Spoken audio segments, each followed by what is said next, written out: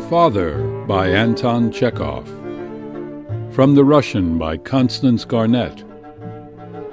This is a Cloud Mountain production. Produced and directed by Taizen Kumoyama. Read by Alan Davis Drake. And now, A Father. I admit it, I have had a drop. You must excuse me. I went into a beer shop on the way here and, and as it was so hot, had a couple of bottles. It's hot, my boy. Old Musatov took a nondescript rag out of his pocket and wiped his shaven, battered face with it. I have come only for a minute, Borenka, my angel.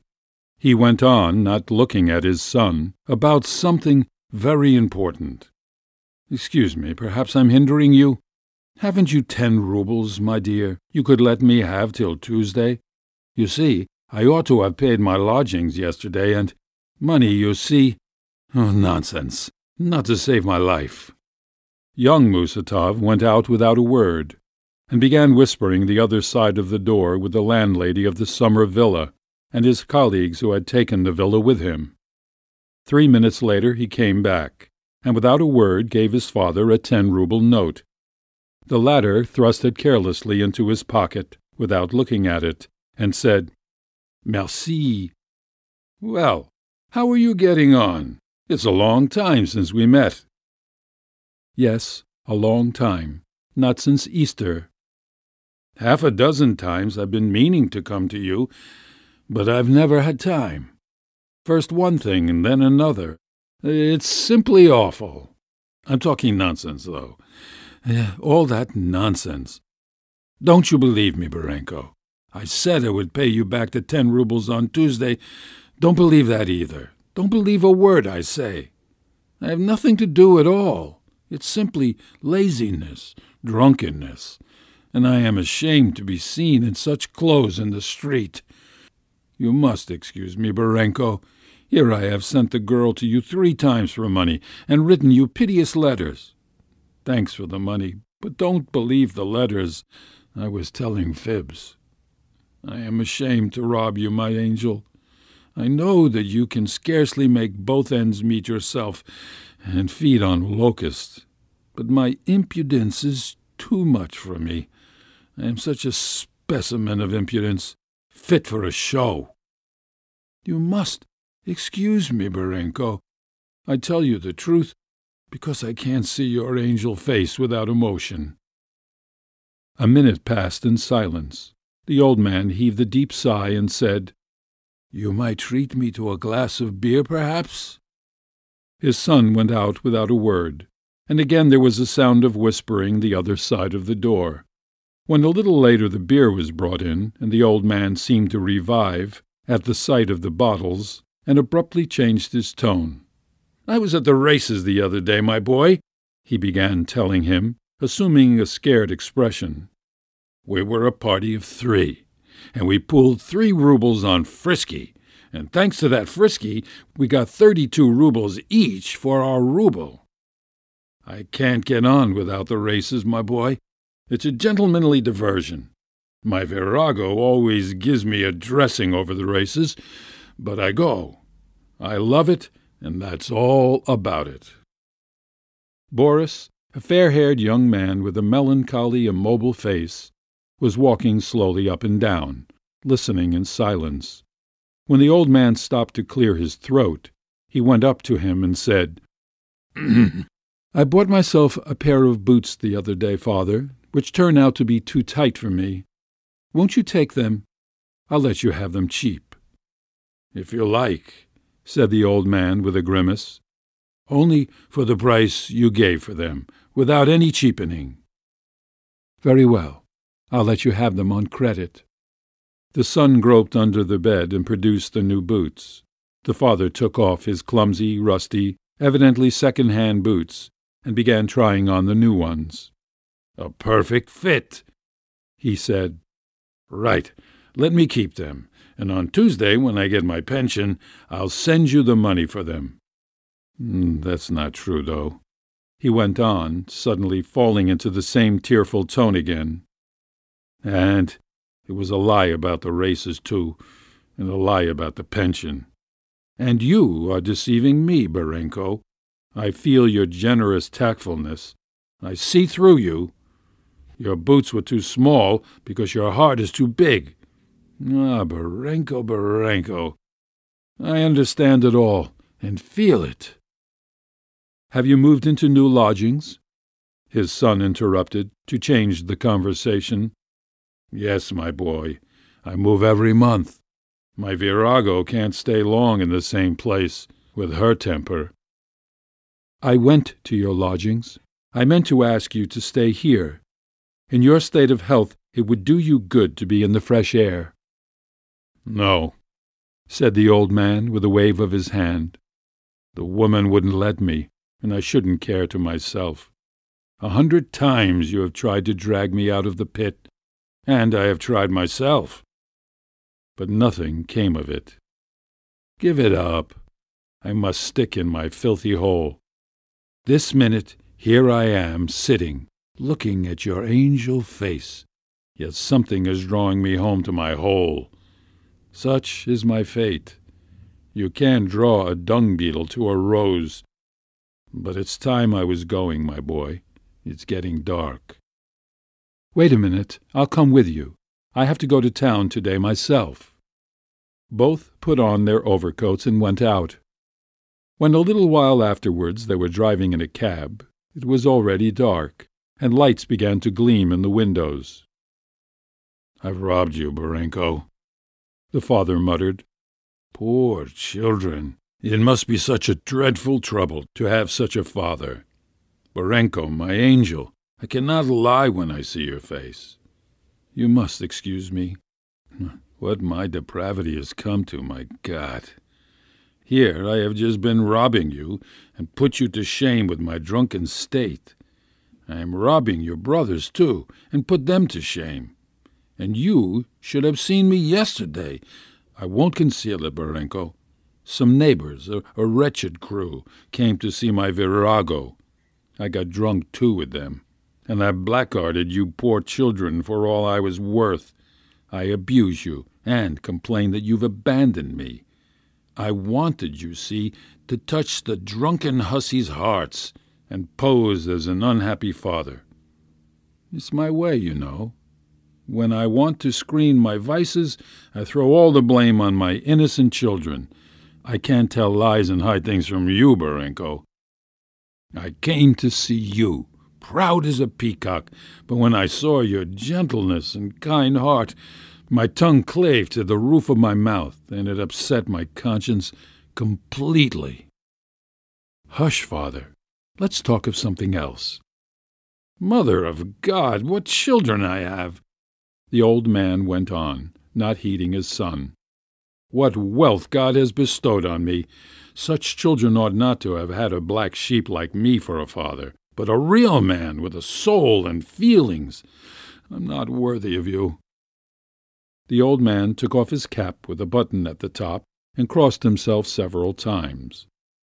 Thanks be to thee, O Lord, he said with a sigh, looking from side to side as though seeking for an icon. Remarkable, exceptional children. I have three sons, and they are all like one. Sober, steady, hard-working, and what brains! Cabman, what brains! Grigory alone has brains enough for ten. He speaks French, he speaks German, and he talks better than any of your lawyers. One is never tired of listening. My children, my children, I can't believe that you are mine. I can't believe it. You've been a martyr, my Borenka. I am ruining you, and I shall go on ruining you. You give to me endlessly, though you know your money is thrown away. The other day I sent you a pitiful letter. I described how ill I was, and you know I was lying. I wanted the money for rum, and you give to me because you are afraid to wound me by refusing. I know all that, and feel it. Grisha's a martyr, too. On Thursday I went to his office, drunk, filthy, ragged, reeking of vodka like a cellar. I went straight up, such a figure. I pestered him with nasty talk. while his colleagues and superiors and petitioners were standing round. I have disgraced him for life, and he wasn't the least confused, only turned a bit pale, but smiled and came up to me as though there were nothing the matter, even introduced me to his colleagues, and then he took me all the way home, and not a word of reproach. I rob him worse than you. Take your brother Sasha now. He's a martyr, too. He married, you know, a colonel's daughter of an aristocratic circle, and got a dowry with her. You would think he would have nothing to do with me. No, brother. After his wedding, he came with his young wife and paid me the first visit. In my hole. Upon his soul. The old man gave a sob, and then began laughing. and at that moment, as luck would have it, we were eating grated radish and kvass and frying fish, and there was a stink enough in the flat to make the devil sick. I was lying down. Hmm, I'd had a drop. Face crimson. It was a disgrace, in fact. But Sasha rose superior to it all. Yes, our Sasha is a good fellow, said Boris. The most splendid fellow. You are all pure gold, you and Grisha and Sasha and Sonia. I worry you, torment you, disgrace you, rob you, and all my life I have not heard one word of reproach from you. You have never given me one cross look. It would be all very well if I had been a decent father to you, but as it is, you have had nothing from me but harm. I am a bad, dissipated man. Now, thank God, I am quieter, and I have no strength of will. But in old days, when you were little, I had determination, will. Whatever I said or did, I always thought it was right. Sometimes I'd come home from the club at night, drunk and ill-humored, and scold at your poor mother for spending money. The whole night I would be railing at her and thinking it the right thing to do. You would get up in the morning and go to school, while I'm still venting my temper upon her. Heavens! I did torture her, poor martyr. When you came back from school and I was asleep, you didn't dare to have dinner until I got up. At dinner, again there'd be a flare-up. I dare say you remember. I wish no one such a father. God sent me to you for a trial. Yes, for a trial. Hold out children to the end. Honor thy father, and thy days will be long. Perhaps for your noble conduct God will grant you long life. Cabman, stop! The old man jumped out of the cab and ran into the tavern. Half an hour later he came back, cleared his throat in a drunken way, and sat down beside his son. Where's Sonia now? he asked. Still at boarding school? No, she left in May, and is still living now with Sasha's mother-in-law. There, said the old man in surprise. She's a jolly good girl. So, is she following her brother's example? Ah, Borenka, she has no mother, no one to rejoice over her. I say, Borenka, does she know how I am living? Eh? Boris made no answer. Five minutes passed in profound silence. The old man gave a sob wiped his face with a rag, and said, I love her, Borenka. She is my only daughter, you know. And in one's old age there is no comfort like a daughter. Could I see her, Borenka? Of course, when you like. Really? And she wouldn't mind? Of course not. She has been trying to find you so as to see you. Upon my soul, what children! Cabman, eh? Arrange it, Borenka, darling. She is a young lady now, delicatesse consommée, and all the rest of it in a refined way, and I don't want to show myself to her in such an abject state. I'll tell you how we'll contrive to work it. For three days I will keep away from spirits, to get my filthy drunken phiz into better order. Then I'll come to you, and you shall lend me for the first time some suits of yours, I'll shave and have my hair cut, and then you go and bring her to your flat. Will you? Very well. Cabman, stop. The old man sprang out of the cab again and ran into a tavern. While Boris was driving with him to his lodging he jumped out twice again, while his son sat silent and waited patiently for him. When, after dismissing the cab, they made their way across a long, filthy yard to the virago's lodging, the old man put on an utterly shamefaced and guilty air, and began timidly clearing his throat and clicking with his lips. Borenka, he said in an ingratiating voice, if my virago begins saying anything, don't take any notice, and behave to her, you know, affably. She is ignorant and impudent, but she's a good baggage. There's a good warm heart beating in her bosom. The long yard ended, and Boris found himself in a dark entry. The swing door creaked. There was a smell of cooking and a smoking samovar. There was a sound of harsh voices.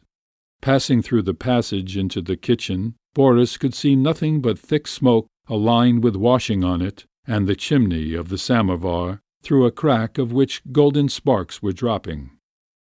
And here is my cell, said the old man, stooping down and going into a little room with a low-pitched ceiling, and an atmosphere unbearably stifling from the proximity of the kitchen.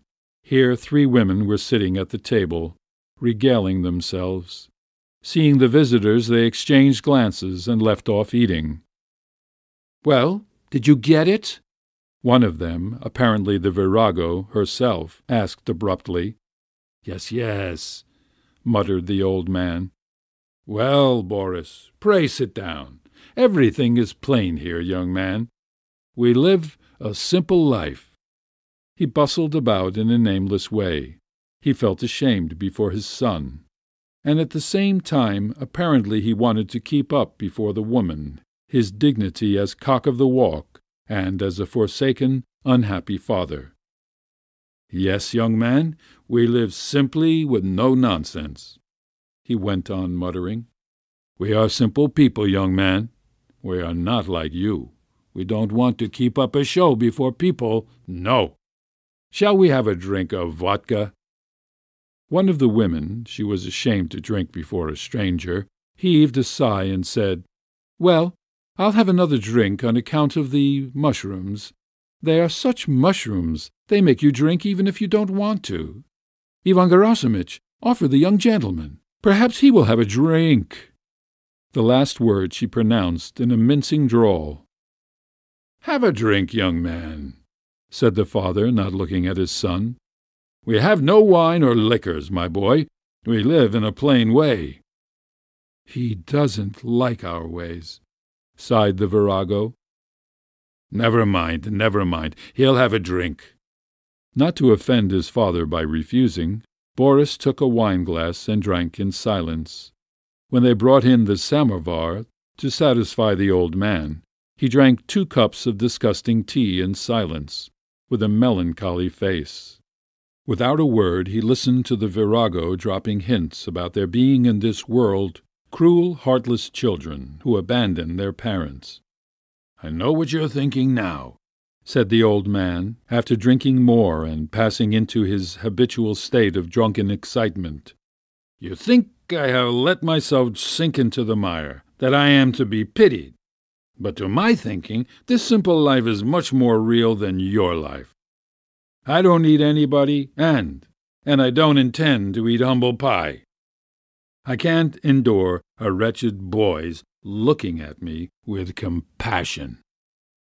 After tea, he cleaned a herring and sprinkled it with onion, with such feelings that tears of emotion stood in his eyes. He began talking again about the races and his winnings, about some Panama hat for which he had paid sixteen roubles the day before. He told lies with the same relish with which he ate herring and drank. His son sat on in silence for an hour, and began to say good-bye. I don't venture to keep you, the old man said haughtily. You must excuse me, young man, for not living as you would like. He ruffled up his feathers, snorted with dignity, and winked at the women. Good-bye, young man, he said, seeing his son into the entry. Attendez! In the entry, where it was dark, he suddenly pressed his face against the young man's sleeve and gave a sob. I should like to have a look at Sonitchka, he whispered. Arrange it, Borenka, my angel. I'll shave, I'll put on your suit, I'll put on a straight face. I'll hold my tongue while she is there. Yes, yes, I will hold my tongue. He looked round timidly towards the door, through which the women's voices were heard, checked his sobs, and said aloud, Good-bye, young man. Attendez! This has been a Cloud Mountain production. Copyright 2009.